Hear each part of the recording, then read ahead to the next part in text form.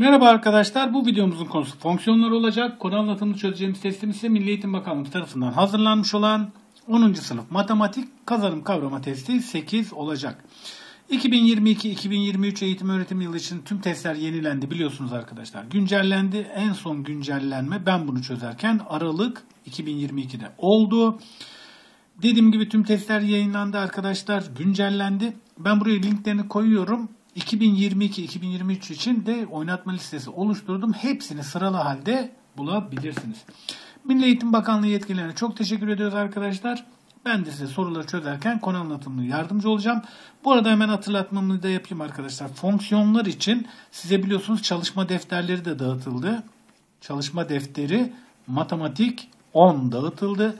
Buradaki fonksiyonlar konusuna da özellikle fonksiyonlar kavramı konusuna lütfen bakınız. Onu da linke koyarım arkadaşlar. Orada çok çok detaylı anlatıyorum. Ben yine burada size detaylı olarak anlatmaya çalışacağım. Birinci soru der ki arkadaşlar 1, 2, 3, 4, 5 ifadelerden hangileri fonksiyon belirtir? Arkadaşlar fonksiyon belirtme şartım benim ne? Tanım kümem. Bakın bunlar hep tanım kümesidir. Şunlar da benim değer kümemdir. Hani bize öğretmenlerimiz hep çizdi ya bize. Hop şu şekilde. Burası tanım kümesi, burası değer kümesi. Fonksiyonu da buradan buraya tanımlıyoruz. Bu işte arkadaşlar x değerleri girdiğim değerler. Bunlar da y sonuçlarındır. Bu R'den R'ye dediğinde işte ilk bunu yazarlar. Tanım kümesinden değer kümesine şeklinde belirtilir. Fonksiyonlar böyle söylenir. Ben o zaman bakacağım. Reel sayılardan reel sayılara. Benim burada x'te reel sayı olarak giremeyeceğim herhangi bir sayı var mı arkadaşlar? Ben bütün sayıları girebilirim değil mi? x yerine istediğim sayı yazabilirim. Burada dikkat etmem gereken payda arkadaşlar. Payda sıfıra eşit olmamalı.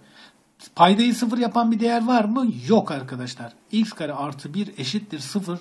Çünkü x kare bütün sayıların zaten karesi pozitif olduğu için bir de artı biri var zaten. Kesinlikle pozitiftir. Zaten görüyorsun bak x kare artı 1 eşittir 0. x kare eşittir eksi 1. Böyle bir sayı yok reel sayılarda. Bu durumda ne derim arkadaşlar? Tanım kümemde herhangi bir sıkıntı yok.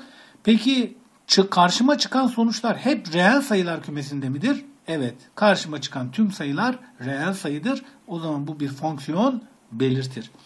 İkinciye geldim. Diyor ki bütün tam sayıları girebilirsin. Z tam sayılardı. Q neydi arkadaşlar? Rasyonel sayılar. Q rasyonel sayılar. Z de tam sayılar. Tam sayılar. Bütün tam sayıları girebilir miyim? Tabii ki girebilirim. Hiçbir sıkıntı yok. Herhangi bir e, giremeyeceğim tam sayı değeri yok. Eksi 75'i de girerim. Artı 4'ü. Sıfırı da girerim. Paydayı sıfır yapan herhangi bir değer yok. Peki karşıma çıkan değerler arkadaşlar her karşılaştığım bütün sayılar karşıma çıkacak sayılar rasyonel midir? Evet öğretmenim hepsi de rasyoneldir. Tam sayılar da rasyonel sayılar kümesinin elemanıydı biliyorsunuz arkadaşlar. Rasyonel sayılar e, tam sayılar kümesini kapsar biliyorsunuz. Bu durumda e, bu da bir fonksiyondur arkadaşlar. Gönül rahatlığıyla bunu işaretleyebilirim. Geldim 3'e. Doğal sayılardan pozitif tam sayılara. Bu arkadaş tam sayılar. Üzerinde bir artı varsa arkadaşlar pozitif tam sayılar bunlarda. Güzel. Bakıyorum bütün tam sayıları girebilir miyim? Girebilirim. Herhangi bir sıkıntı var mı? Yok. Peki karşıma çıkan bütün herkes e, tam sayı mıdır? Doğal sayı girince tam sayıdır. Peki pozitif tam sayı mıdır arkadaşlar? Sanki öyle gibi gözüküyor ama doğal sayılar kümemiz neydi? 0, 1, 2 artı sonsuza kadar. Bakın arkadaşlar x eşittir 0 için senin fx değerinin kaç oluyor? f0 eksi 1 oluyor. x yerine 0 yazarsan. Peki eksi 1 sonucu pozitif bir tam sayı mı? Sen buradan hop kaçı girdik? 0'ı girdik. Karşıda eleman yok ki eşleşici bir eleman yok. Yani tam sayı pozitif bir tam sayı kümesinde eksi 1'i göremeyeceğimiz için bunu fonksiyon olarak kabul etmiyoruz arkadaşlar. Doğal sayılardan yine reel e, rasyonel reel sayılara ya da rasyonel sayılara tanımlanmış deseydi kabul ederdim. Ya da doğal sayılardan tam sayılara deseydi yine kabul ederdim. O yüzden bu arkadaş kabul edemiyoruz. Çünkü eksi 1 benim değer kümemde yok. Yer almıyor. Eşleşemiyor. 4 numaraya geldim. Reellerden arkadaşlar reel pozitife bu arkadaş. Şimdi bütün reel sayıları girebiliyor muyum? Giriyorum. Şimdi polinomlar konusunu tabii fonksiyonlardan sonra göreceksiniz. Bu polinomsal bir ifade. Giriyorum. Hiçbir sıkıntı yok arkadaşlar. 4'e bölüyorum. Paydamı sıfır yapan bir değer var mı? Yok. Herhangi bir de çünkü sadece payda da 4 var zaten. Ee, tanım kümemde herhangi bir sıkıntı göremiyorum arkadaşlar. Peki girdiğim her sayı için arkadaşlar reel pozitifleri görebilir miyim? Burası reel sayılar. Hop. Burada da reel pozitif sayılar var. Sevgili arkadaşlar işte böyle nüanslar var. Çok çok ince ayrıntılar var. Burada dikkat etmem gereken kaç? Yine x eşittir 0 için bakınız. f 0 değeri ne oluyor? 0 artı 0 0 0 bölü 4 eşittir 0. İşte burada şu r artı var ya arkadaşlar. 0 burada yer almaz. Çünkü reel pozitif diyor. 0 arkadaşlar neydi? İşaretsiz. Bazılarınız nötr olarak da biliyor. 0 arkadaşlar pozitif reel sayı değildir. Bu durumda yine benim değer kümemde 0 olmadığı için kabul edemiyorum. Bizimle değilsin diyorum. 5'e geldim. Doğal sayılar gireceğim diyor. Karşıma yine reel pozitifler çıkacak diyor. Dikkat et bak yine reel pozitifler. Demek ki bir yere bir sıfıra dikkat edeceğiz. Arkadaşlar ben burada bütün doğal sayıları girebilir miyim x yerine? Tabii pekala girebilirim. Hiç de sıkıntı duymam. Peki mutlak değer içinde hocam mutlak değerin sonucu her zaman pozitif değil miydi? İşte büyük bir yanılgı arkadaşlar. O lafı değiştiriyoruz artık. Ne diyoruz? Mutlak değerin sonucu mutlak değerin sonucu sıfıra eşit ya da sıfırdan büyük olabilir. Sıfır da olabilir. Sıfırı hep gözden kaçırıyoruz. Sıfırı böyle e, hor görmemek lazım arkadaşlar. Negatif sayıları da çok hor görüyoruz. Sıfırı da bazen hor görüyoruz. Çünkü bak yine burada f3 değerine bak. f3 ne olur? 3 eksi 3 mutlak değer içinde 0 olur ki yine reel pozitif dedi. Reel pozitiflerin içinde sevgili arkadaşlar 0 yok. Az önce söylediğimiz gibi 0 işaretsiz. 5'i de alamadık. Bu durumda 1 ve 2 dedik gönül rahatlığıyla. 2 ile devam ediyoruz. Öğretici olmuş fena değil. Söylediğim gibi sevgili arkadaşlar çalışma defteri her seferinde de yazayım. Çalışma defteri sorularını da şuraya koyuyorum linklerini. Orada fonksiyonlar konusunda çok detay anlatıyorum. Onlara da bakın. 2. Gerçek sayılar kümesinde tanımlı f ve g fonksiyonları fx buymuş. g 2x artı 1 de f eksi 1'e eşitmiş. Buna göre g5 nedir? Arkadaşlar gayri ihtiyari refleksif şunu yapıyorum ben. Ben burada ne yapmak istiyorum? G5'in peşindeyim. Şurada ben 5 görmek isterim. Yani isterim ki ben 2x artı 1 5 olsun isterim. Peki bunun 5 görmek için x yerine ne yazmalıyım? Çözersem 2x eşittir 4, x eşittir 2'yi bulurum. Demek ki sevgili arkadaşlar x yerine 2 yazarsam g5 görebiliyorum. Yazdım. x eşittir 2 için g5 eşittir 2 yazıyorum bak dikkat. Ben bu denklemde x 2 dediysem bütün x'lere 2 demişimdir. Herhangi bir denklemde sen gördüğün bir sembole bir sayı değeri düşünüyorsan hepsi içinde. X artık senin için 2'dir. 2'yi yazdım 5. Bak 2'yi yazdım F1. E, sevgili arkadaşlar G5'i ararken F1'i arar oldum. Formülo 1 gibi çıktı. F1 G5'e eşitmiş. E demek ki ben F1'i bulmalıymışım ki o armut piş ağzıma düş Fx zaten verilmiş. F1'e bakarım. X gördüğüm her yere 1 yazarım. 5 çarpı 1'in karesi. Hadi bu şey soru olduğu için bir tane yazalım. 3 çarpı 1 eksi 4. Yazmama bile gerek yok değil mi arkadaşlar? 1 yazarsam sadece katsayılar toplamı olur. 5 artı 3 eksi 4'ten aha da buyur sana 4 olur. C şıkkını işaretler güle oynaya 3 ile devam edelim. Üçüncü soruda der ki A ve B gerçek sayılar olmak üzere F sabit fonksiyon ve G birim fonksiyondur. fx buymuş ve g 2a artı 1 de b kare artı 9 olduğuna göre b aşağıdakilerden hangisi olabilir? Çok karışıkmış gibi duruyor ama hiç karışık değil arkadaşlar. Üzülmüyoruz, korkmuyoruz. Öncelikle şu sabit fonksiyona bir girelim. Arkadaşlar ha, önce yine hatırlatıyorum. Çalışma defteri. Çalışma defteri de hepinize dağıtıldı. Linkini veriyorum. Orada mutlaka bakın fonksiyonlar konusunu çok detaylı anlatıyorum fx arkadaşlar c gibi sabit bir sayıya eşitse biz buna sabit fonksiyon deriz. Örnek veriyorum. fx eşittir 5. fx eşittir eksi 2 gibi. Yani x karşımda x görmemeliyim. Ama burada x'ler var. Bunu görmemek için de ne olmalı arkadaşlar? Rasyonel bir ifade görüyorum ben burada. Önce ezberini söyleyeceğim. Sonra neden olduğunu söyleyeceğim. Arkadaşlar burada x'lerin katsayıları pay ve payda da yani 7 bölü 4 ve sabit sayıların oranları a bölü 21. İşte bunlar birbirine eşit olmalı. Kolay nasıl çözüyorum arkadaşlar? Oran orantı şimdi bak 3 katı bunun da 3 katı olan a eşittir 12'yi buldum. İçler dışlar çarparak da görebilirsin. 4 çarpı 21 84 7a 84 a 12. Peki neden? Neden? Arkadaşlar işte şu yüzden. Yukarıdaki x'li ve aşağıdaki x'li değerlerin sadeleşmiş olması gerekiyor. Örneğin 6x artı 4 bölü 3x artı 2. Bak 2 katı 2 katı ne oluyor? 2 parantezini alıyorum yukarıyı. x artı 2 pardon 3x artı 2 değil mi? 2 parantezinde. Art, orta, aşağıda da 3x artı 2 var. Bunlar sadeleşiyor. Sadece sabit sayı kalıyor. Sadeşe, sadeleşebilsin diye bunlar oranlı olmalı. Öyle değil mi? Bak ne bulduk? 4x artı 12 bölü 7x artı 21'miş. Sadeleştir şimdi bak. Yukarıyı 4 parantezine alalım. x artı 3. Aşağıyı 7 parantezine alalım. Aldık. x artı 3. Bak x'ler sadeleşti.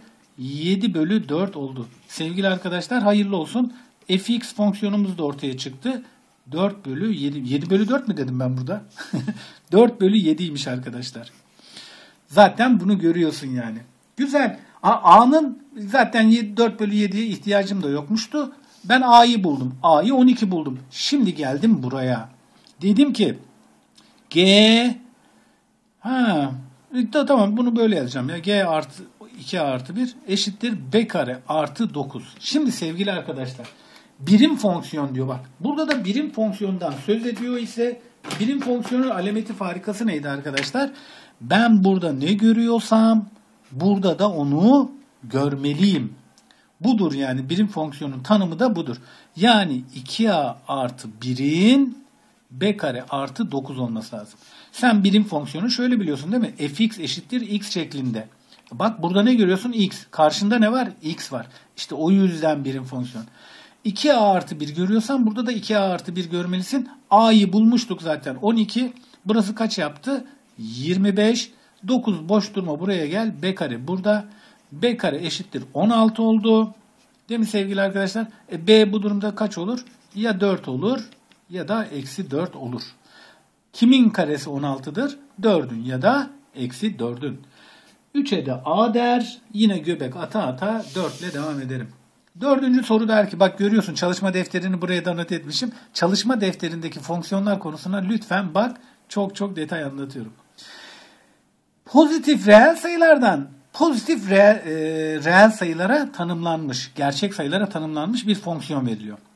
F fonksiyonu örten fonksiyon olduğuna göre A'nın alabileceği en küçük değer için f a artı 2 değeri nedir? Şimdi sevgili arkadaşlar ben buraya bütün reel sayıları gireceğim değil mi? Güzel. Reel pozitifleri gireceğim ve karşıma da reel pozitifler çıkacak. Şu arkadaş sıfırdan büyükmüş. 3 bölü x kare artı a bak pozitif dediği için sıfır da değil ha. Sıfırdan büyükmüş. Bunun bana koşulunu söyle. Bu ne zaman sıfır olur? Arkadaşlar x kare artı a sıfırdan büyükse. Çünkü bak yukarıda 3 var zaten sabit bir sayı. Aşağısı pozitif olduğu sürece bu arkadaş pozitiftir. Ne zaman ki aşağısı negatif olur o zaman sıkıntı. Hocam efendim zaten x kare var. Bütün sayıların kareleri pozitif olduğu için bu arkadaş zaten hep pozitiftir. Gerek yok bakmamıza göre. Çünkü burası hep pozitif olur deme. Neden deme sevgili arkadaşım? x kare reel pozitif girdiğin için nedir? X kare sıfırdan büyük bir sayıdır. A'nın da arkadaşlar A'nın da sıfıra eşit ya da sıfırdan büyük olması gerekir. Çünkü A eğer negatif bir sayı olursa negatif olursa A, A, x kare sevgili arkadaşlar düşünsene 0,00001 çıkar. Bu arkadaş da eksi 0,02'dir. Bak senin negatif yapar. Üzüntüye gark eder. Bu durumda e, sıfır olmalı ki bakın sıfır olmalı ki en küçük en küçük değeri sıfır olmalı ki e, aşağısı tanımlı olabilmeli arkadaşlar. Ben buradan neyi çıkardım? A sıfırdan büyük eşitliği çıkardım. Şunu çözer isem zaten bu arkadaş pozitif bir sayı. A ile toplayacağım. Bu arkadaşın da e, A'nın sıfır ya da sıfırdan büyük olmasını e, buldum. A o zaman en küçük değerini arkadaşlar A eşittir 0. Bunun için bu durumda ne olur? F 2 olur. A artı 2'den. Hop eşittir. 3 bölü A'yı zaten 0 dedik. Bölü x kareden 2'nin karesi yani fx'imizi de yazalım arkadaşlar. A0 için 3 bölü x kare olur. 2'yi yerine yazdım. A artı 2 dedim. Çünkü A'yı 0 bulduk artık. 3 ee, bölü 4 olur sevgili arkadaşlar. Bu da nerede? C şıkkında. 5 ile devam edelim. Oo işte geldik şu soruya. Burada biraz şey yapacağız. Oyun oynayacağız arkadaşlar. Yani 10. sınıf bir öğrencisi için ağır bir soru mu acaba tam da emin değilim açıkçası. Biraz yani biraz uğraşmak gerekiyor. Ee, ne söyleyeyim. Doğal sayılar bak doğal sayılar kümesinde tanımlı f fonksiyonu bu şekilde verilmiş. Allah'ım sana geliyorum. Bu da ne? x artı 2'nin mutlak değeri çarpı x artı 5x artı 7. Bu biçimde e, ifade edilmiş. Bununla kalsa iyi. Tutmuş bir de F0, F1, F2, F3, F10'a kadar toplamları nedir demiş. Bu da yetmemiş. Şıklara bak sen. Oo, şenliğe gel. Ne yapacağız? Arkadaşlar önce gelin bir fx'i bulmaya çalışalım. fx'i bulmak için sen burada x görmek istiyorsun değil mi? x yerine ne yazarsın sevgili arkadaşım? x yerine x eksi 2 yazarsın. x yerine x eksi yazarsan bak gel yazalım. x eksi 2 artı 2 bak ne oluyor? fx oluyor. Eşittir. x yerine x artı 2 yazınca x olduğunu gördük. x artı 2'ler artık benim için x. Ha, hatta onu şey de yapabiliriz. Dararet, orada da mı göstereyim? Şurada, şurada ben sana iki yol söyleyeceğim. Tamam mı? Güzel. Şimdi bunu anladık. Hop şurası ne oldu? Artık buraya x diyebilirim yani. x faktöriyel çarpı. Şimdi sevgili arkadaşlar şurayla biraz oynayalım sizinle. Gelin bir oyun oynayalım. Şimdi normalde sizin polinomlar konunuz e, fonksiyonlar konusundan sonra polinomları işleyip de bunları gördüyseniz Burada şöyle bir takım numaralar çekebilirsiniz. Bir kere hiç sıkıntıya girmeden x yerine x eksi 2 yazıyorum ya. x eksi 2'nin karesi. Şunu yazıyorum ha. Tamam mı? Bunu yazıyorum işte. x kare artı 5x artı 7 yerinde. Artı 5 tane x eksi 2 artı 7 yazıyorum. Devam edersem birincinin karesi. Birinci ile ikincinin çarpımının iki katı. ikincinin karesi. Şimdi 5 ile çarpıyorum. Artı 5x eksi 10 artı 7. Bu durumda düzenleyelim. x kare x'leri görüyorum. Artı x şurası da ne oldu? Artı 1 oldu. Haydi geçmiş olsun. Arkadaşlar burası da x kare artı x artı 1'miş. Normalde normalde yapman gereken bu. Çünkü biz x yerine ne yazdık? x eksi 2 yazdık.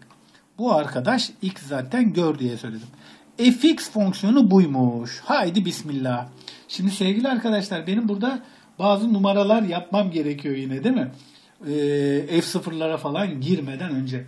Şimdi şu arkadaşı bir toparlasak. Şu arkadaşa bir baksak. Ne görüyorsun? Az önce karesini aldım. Bak bu arkadaş x artı 1'in karesine çok benziyor değil mi? x artı 1'in karesini söyle bana. Hocam x kare artı 2x artı 1. Peki burada ne var? Bu var. Arkadaşlar sen bu arkadaşa şuna e, x kare artı x artı 1'e x eklesen neyi görürsün? Bunu görürsün.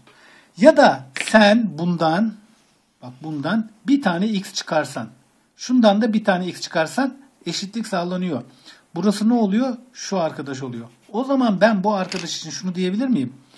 x artı 1'in karesi eksi x. Bak buna böyle söyledim. Ha bu arada sevgili arkadaşlar arkadaşım Şerife arada bir söylüyorum. Şerife matematik öğretmeni benim üniversiteden de arkadaşım. Çok kıymetli bir insandır. İstanbul'da öğretmen kendisi e, Sarıyer dolaylarında. Ona buradan selam söylüyorum. Öğrencilerine de selam söylüyorum. Selamlar.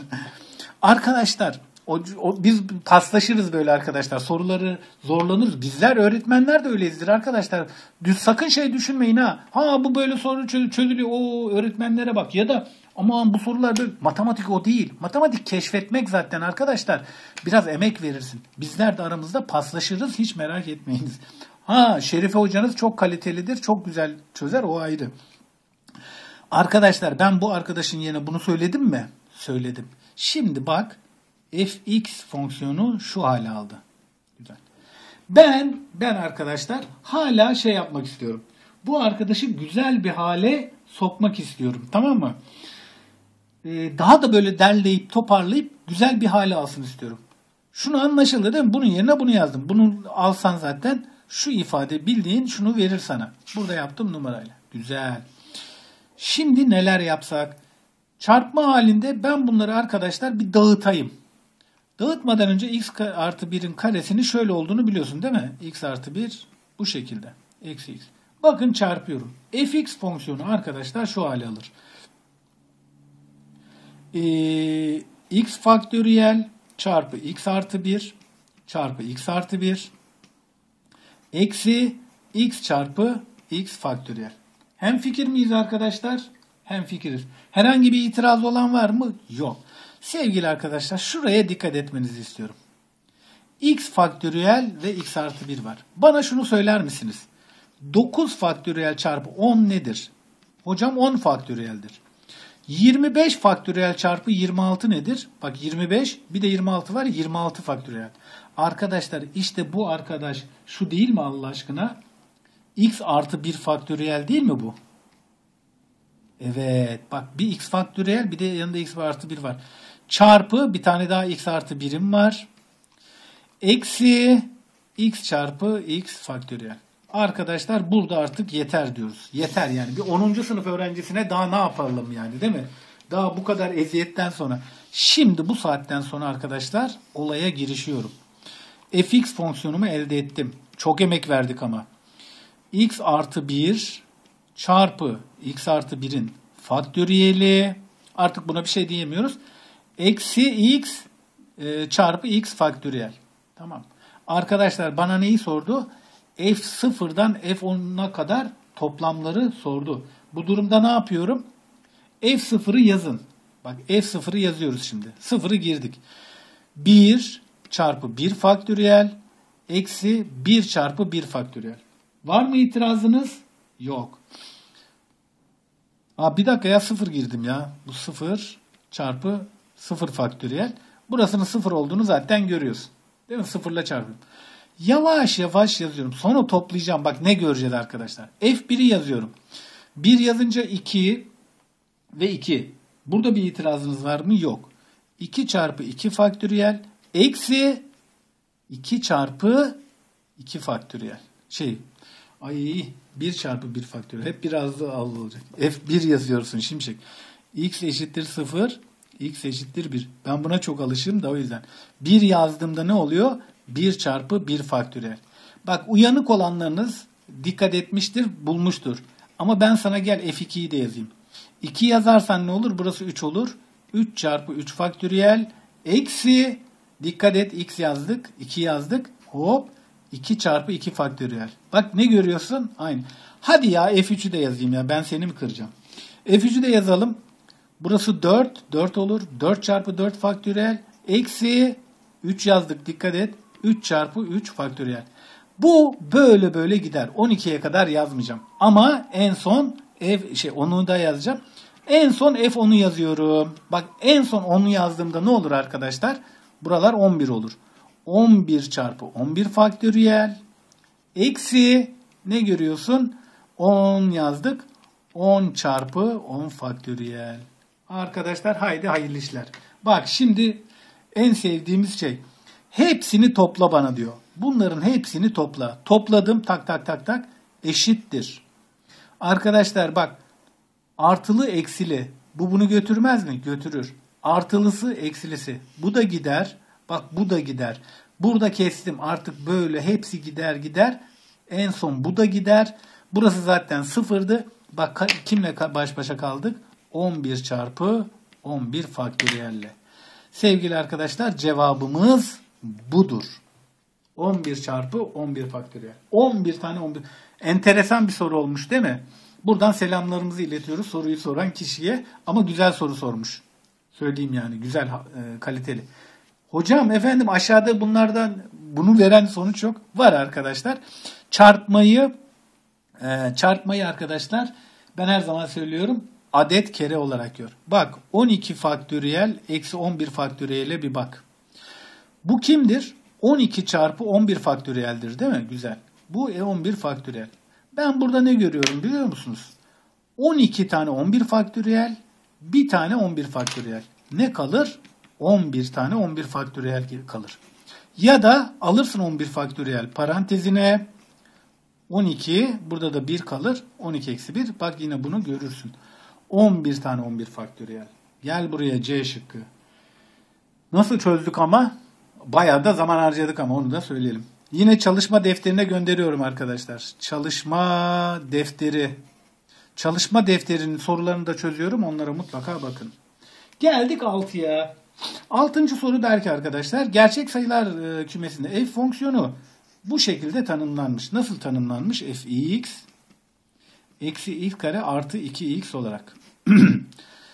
tanımlanıyor. Buna göre löp, lüp, lüp, lüp ifadelerinden hangileri doğrudur? Bakalım arkadaşlar. 1'e 1'dir. Sevgili arkadaşlar bir fonksiyonun 1'e 1 olması için ya doğrusal olması lazım ya da her bir e, değerin bir değere gidiyor olması lazım. Onu da nasıl söylüyorduk? Tanım kümesi, değer kümesi sadece ve sadece bir değerle eşleşmeli. Arkadaşlar sen kareli ki parabol belirtir bu. Kareli varsa x'in e, pozitif kuvvetleri varsa sevgili arkadaşım birebir olmaz. Örneğin bak f1 sana kaç değerini verir? 1 değerini verir. Eksi 1'e bak. Eksi 1'de de sana yine eksi 1 eksi bir dakika 1 verdim. Ha şeyde um, 1 demeyeyim de eksi 1 ve aa, bir dakika ha en büyük değeri şey, yanlışlıkla en büyük değerini bulduk iyi mi? Arkadaşlar burada x kare terimi olduğu için şunun şeyini bir çizeyim ben size önce de. Hop şu. Şurası 0, şurası 2. Bakın sevgili arkadaşlar şu değeri 0 yapan değerler. Eksi x kare artı 2x eşittir 0'a eşitlersem. Şurası x eksenim burası da y eksenim değil mi benim? Evet doğrudur. İşte burada arkadaşlar bunu 0 yapan değerler şu değerlerdir. Ben bunu eksi x parantezine alırsam x eksi 2 eşittir 0 olur. Bakın x eksi x çarpı x eksi 2 sıfırsa x 0 ve x eşittir 2 olur arkadaşlar. Bu arkadaş buralardan geçer. Bu durumda bak senin burada vereceğin eksi 1 değeri ile burada vereceğin 3 değeri aynıdır. Yani f eksi 1 değeri f3 ile aynıdır. Birebir değildir. Parabolik eğriler kare olunca böyle bir e, grafiğin oluyor sevgili arkadaşlar. Ve birebir de neyi yapıyorduk arkadaşlar? Yatay doğru testi. Bu arkadaş iki yerde kesti. Bak hem burada hem burada iki yerde kesti. F eksi 1'i hadi yazalım madem yazdık. Eksi 3 oluyor. Ee, 3 içinde yine sana eksi 3 değerini veriyor. Aynı değerle karşılaşıyorsun. O yüzden 1'e 1 diyemiyoruz. Sevgili arkadaşlar diyor ki örten midir? Örten midir? Gerçek sayılar kümesinde. Sevgili arkadaşlar bak biz bu arkadaşın grafiğini çizdiğimizde zaten şu şekil alıyor. 0 ile 2'de kesti. Tam şu ikisinin arasında arkadaşlar bir değeri için F1 maksimum olur. F1 en yüksek değeri verir sana. O değer de şudur. F1'i bir yazalım arkadaşlar. F1 kaç oluyor? Ee, eksi 1, 1'in karesi artı 2'den 1 olur. Burası da 1 olur arkadaşlar gerçek sayılar kümesinde sen burada 2'yi göremezsin. birden büyük hiçbir sayı göremezsin. Çünkü senin karşına çıkan bütün değerler arkadaşlar zaten onları da söyleyecek bana. Bak görüntü kümesini de söyleyecek. Bütün karşına çıkan değerler şunlardır arkadaşlar. Çünkü senin fonksiyonun burası bak. Fonksiyonun grafiğini çizmeyi öğrendiniz değil mi? Fonksiyon grafiğini çizdiğimizde arkadaşlar grafiğimiz bu oluyor bizim. Bu demek y eksenin değerlerin senin. Y'lerin bunlar. İşte senin görüntü kümen burası. Değer kümen burası. Y eksenin tamamı. Değer kümen. Görüntü kümende şu yeşille çizdiğim arkadaşlar. Bu durumda bak görüntü kümene eksi sonsuz ila bir aralığı dersin. Bir dahil mi? Dahil. Çünkü F1 1 veriyor. Bak buna doğru dersin. F'in en büyük değeri 1 mi? Evet bunu da dersin. Doğru dersin ama örten midir? Hayır. Çünkü bak bunları göremedin. Birden büyük bir değer göremiyorsun sevgili arkadaşım. Bunlar boşta kaldı. Senin değer kümende. O zaman 1 ve 2 diyoruz arkadaşlar. Ee, grafik çizmeyi öğrendik. X diyoruz. Y değerlerini veriyoruz arkadaşlar. X'e, Y'lere. Doğruyu çizmek çok kolay. Hemen çizebiliyoruz. İki noktayı verdikten sonra. Ee, böyle kareli e, ikinci dereceden denklemlerin arkadaşlar parabol diyoruz onu halk arasında diyelim. Çizerken de arkadaşlar kritik değerler sıfırı veriyoruz. Bunları belirliyoruz. Bir de bu kestiği noktaların tam ortasını alıyoruz arkadaşlar. Kökleri diyelim biz bunlara. Tam ortasındaki değeri verdiğimizde maksimum ya da minimum değerlerini buluyoruz. 7 ile devam edelim o zaman. Önce bir su içeyim ben. Şöyle bir, bir yudum alayım.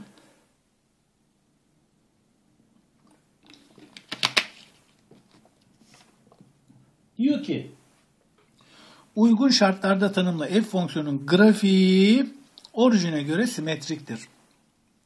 Löp löp löp eşitliği veriyor. Buna göre f3 kaçtır? Arkadaşlar orijine göre simetrik demek tek fonksiyon demek.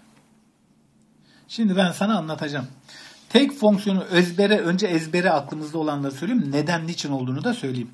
Tek fonksiyon dediğin şey sevgili arkadaşım fx eğer eksi f eksi x'e eşitse bu bir e, tek fonksiyondur. Tek fonksiyon orijine göre simetriktir. Bak neden olduğunu gör gel. Şimdi arkadaşım şu x'leri bir kere bu x x deyince biraz kafamız karışıyor. Sen bunlara gel a a deyiver. Bir tane a sayısı verdim. Bu a olsun. Hatta bunu ete kemiğe de büründüreceğim. Hop karşına b çıktı. Tamam mı? a'yı verdim b çıktı. Arkadaşlar bunun orijine göre simetriği nedir? Hop bu kadar geldiysen bu kadar gidersin değil mi? Aynen doğru üzerinde. Aynen buraya gelirsin. İşte bunun simetriği de arkadaşlar. Sen buraya A dedin ya burası eksi A'dır. Tak tak tak. Aynı üçgenden bahsediyorsun. Bak dikkat et. Şu uzunluk bu uzunlukla aynı. Bu uzunlukta bu uzunlukla aynı olmalı. Şu demek ki burası da eksi B olmalı. Bak F A girdin B çıktı. F eksi A girdin. Eksi B çıktı. Ete keme bölündürelim. F 3 diyelim artık buna. F3 girdin. 5 diyelim. 5 çıktı. Şimdi diyor ki f eksi 3 girersen de eksi 5 çıksın. Eksi 3 girersen eksi 5. İşte sevgili arkadaşlar şu söylenen o. f3 eşittir eksi f eksi 3. Değil mi? Bak bu 5, bu 5, bu da eksi 5 sana. Bunun eksilisini veriyor yani sana. Anlaştık mı? Güzel, harika. Aa, o zaman baksana. fx eşittir eksi f eksi x ise e, şu arkadaşın yerine ben fx diyebilirim. fx. O zaman şuymuş bu. f'in karesi eşittir fx artı 9x kare eksi 3x. Tamam. Fx sen burada ne işin var? Gel sola. f'in karesi x eksi fx eşittir 9x kare eksi 3x. Hocam efendim F3'ü nasıl bulacağız? Hala F3'ü söylemedin. Arkadaşlar x eşittir 3 için yazalım. x eşittir 3 için. F3'ün karesi. Bu F3'ün karesi demek biliyorsunuz zaten. Eksi F3 eşittir. Aa, hmm, bir dakika ya. Dur dur. 3'ü yazmadan önce sana şunu göstereyim ki. Çünkü burada ikinci dereceden denkleme gideceksin. İkinci dereceden denklemleri de henüz öğrenmedin. İkinci dönem öğreneceksin. İkinci dereceden denklemle de çözebilirsin ama ben sana burada bir şey göstereceğim. Arkadaşlar bunu bakın fx parantezini alırsam. fx parantezini alırsam fx eksi 1 eşittir. Gelin bunu da 3x parantezine alalım. Aldım. 3x eksi 1 olmaz mı? Aynen öyle. E sevgili arkadaşlar bana bir bakar mısınız? Şuraya bir bakar mısınız? Ne görüyorsunuz? fx kaç? fx arkadaşlar 3x değil mi? Bak fx 3x. fx 3x. fx eşittir 3x. O zaman bana neyi sordun? f3'ü. x yerine 3 yazıyorum. f3 eşittir. x yerine 3 yazıyorum. Buyur sana 9 diyorum. Tamam. Hepsi bu kadar yani. İkinci dereceden denklemlere gidersen de baya bir uğraşman gerekirdi. En güzeli böyle görünce hop karşılıklı fx'in 3x'e eşit olduğunu kolaylıkla görüyorum. Geldim 8'e. Yine böyle beynini e, bulandıracak, böyle e, kafanı karıştıracak türden bir soru gibi duruyor ama karışmasına izin vermiyoruz. Dik koordinat düzleminde y eşittir f eksi x eksi 1 bir de g eşittir x artı 1 fonksiyonları verilmişler arkadaşlar. Dikkat et. Bakın burası x ekseni. Bana fx'i vermemiş. f x eksi 1'i bir de g x artı 1'i. Dikkat edeceğiz buna. Buna göre f0, g1, g eksi 1 ve f eksi 2 değerlerini bulun diyor. Arkadaşlar f0 için bana bak buraya. f0'ı görmek için x yerine ne yazarsın? 1 yazarsın. f1 için f0'ı bulursun. Arkadaşlar işte x1 için f0'ı buluyorsan gider burada x yerine 1 yazarsın. 1 ne görüyorsun? 2. Yani şurası aslında arkadaşlar f sıfırdır. f sıfır eşittir 2'dir. Hatta bu noktayı gel seninle yazalım. f sıfıra 2 noktasıdır burası. Değil mi? Güzel. Aynı zamanda G2 noktası. Onu da konuşacağız. F0 neymiş? 2'ymiş. Yazıyorum 2. G1'e bakalım. Arkadaşlar bak G1 görmek istiyorsun. O zaman x yerine ne yazarsın? 0. x eşittir 0 için G 1 olur. x yerine 1 yazınca. O zaman ne yaparsın? Gelirsin x'in 0 olduğu noktaya bakar. G fonksiyonun bu. Hop yeşil okursun. Bu da 2'ymiş. Artı 2. Tamam. Güzel. Şimdi ne isteniyor benden? G eksi 1. Sevgili arkadaşlar G eksi 1 için ne yapmalısın? X yerine eksi 2 yazmalısın. X eşittir eksi 2 için G eksi 1'i bulursun. O zaman x ekseninde neye bakarsın? Eksi 2'ye. Hop eksi 2'ye bakarsın. Yeşilde kaçı görüyorsun? Hop sıfırı. Burası sıfırmış. Eksi f eksi 2. Arkadaşlar f eksi 2 görmek için ne yaparsın? x yerine eksi 1 yazarsın. x eşittir eksi 1 için f eksi 2'yi okursun. f eksi 2 için bu durumda gider x'in eksi 1 olduğu yere bakarsın. x'in eksi 1 olduğu yerde kırmızı hop kaç oldu arkadaşlar? 1 oldu. Haydi geçmiş olsun. Yukarısı 4 aşağısı 1 Buyur sana eksi 4. 4 bölü eksi 1 sana eksi 4 cevabını verir. 8'e de A deyip bir nefes aldık. 9'da devam ediyoruz. 9 bana sorarsanız bayağı kolay olmuş yani bu kadar sorunun içinde. A'dan B'ye tanımlanan f, f fonksiyonu için arkadaşlar A'dan B'ye tanımlanıyor. Yani şunu demek istiyor. F A A'dan B'ye. Tanım kümesi değer kümesi. Hatta görüntü kümen bile olabilir. Yani girdiğin x değerleri ve karşında olası çıkacak değerler arkadaşlar. Tanımlanan f fonksiyonu için a kümesinin her elemanını karesinin bir eksiğinin iki katı ile eşleştirir. İfadesi şeklinde tanımlanmıştır. Buna göre aşağıdaki hangisi yanlıştır? Arkadaşlar gelin yazalım. Türkçe söylenen bu şeyi yazalım. A kümesindeki her elemanını karesinin bir eksiğinin karesinin bir eksiğinin bak bir sayının gireceğim sayı gireceğim. Bunun karesinin bir eksiğinin iki katı ile eşleştirir. Karesinin bir eksiğinin iki katı. Arkadaşlar fonksiyonumuzu yazdık işte bu. Acaba diyor bunu yazabiliyor musun? Sanki şey gibi değil mi? Yani problemler sorusu gibi, denklemler ve eşitsizlikler sorusu gibi olmuş. Hangisi yanlıştır? f eksi 2 altımı yazın. f eksi 2 yarıcanı eksi 2'yi 2 çarpı burası 4 çarpı 3'ten 6 olur. Doğrudur. f eksi 1 arkadaşlar. Ha, hmm. Ya sevgili arkadaşlar ben burada sana neyse cevabı bulduktan sonra söyleyeceğim. Ee, evet evet cevabı bulduktan sonra söyleyeyim. Cevabın hemen şu olduğunu fark ettik. Çünkü bu bir çift fonksiyon. Bak burada tek fonksiyonu andık. Çift fonksiyonu anmaksak da olmaz. Bu bir çift fonksiyondur arkadaşlar. Sadece çünkü x kare çift kuvvet var. x karelerde de eksi 2'yi de ne görüyorsan 2'de de onu görmelisin. Burada 6 burada 7 olmaz. 6 doğruysa 7 kesinlikle yanlıştır arkadaşlar. Bunu 5'ten baştan eşitleyelim. Ama neden olduklarına bak şunda da f eksi 1'i girersen 0 bulursun. Bak f1 girdiğinde de 0 görüyorsun. Çünkü çift fonksiyon. f2 girdiğimizde f2 değerini de yazalım arkadaşlar. 2 çarpı 2 girdim. Ha, 3 zaten bak gene 6'yı görüyorsun.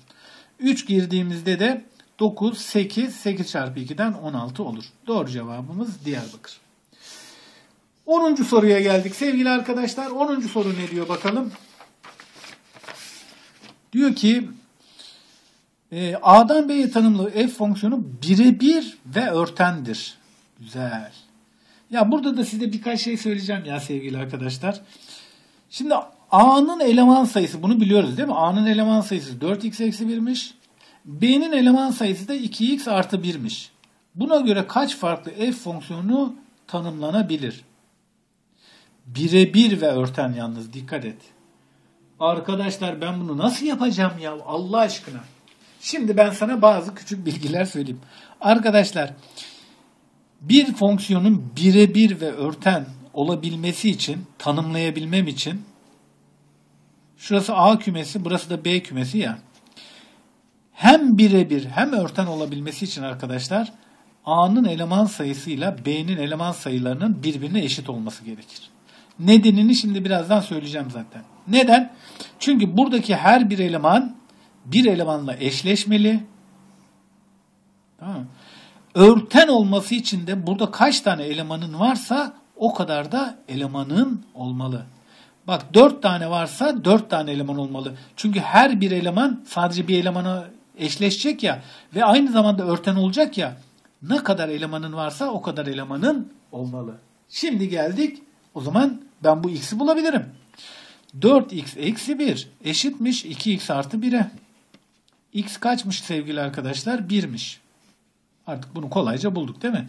4x 2x buraya geldi. 2x eşittir 2'den x eşittir 1. Arkadaşlar şimdi bak şeyi anlatacağım sana.